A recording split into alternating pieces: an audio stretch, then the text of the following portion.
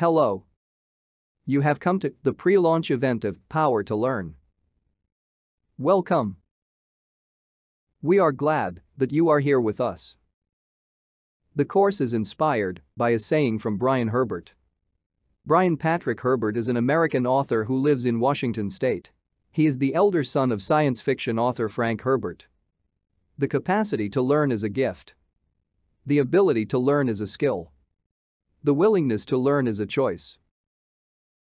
Power to Learn provides online courses on Java, SQL, design patterns, and a whole lot more as we gain traction and support from our students and supporters.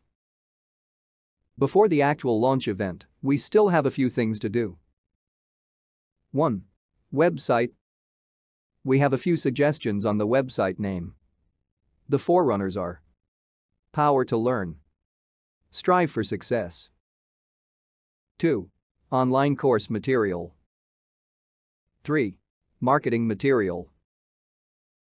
First, online course is likely to be Modern Day Core Java with IntelliJ Community Edition.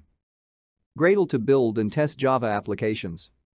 Some of the 23 gang of 4 design patterns. The aim of the Java course is to study lessons learned from a seasoned developer. Discover best practices together.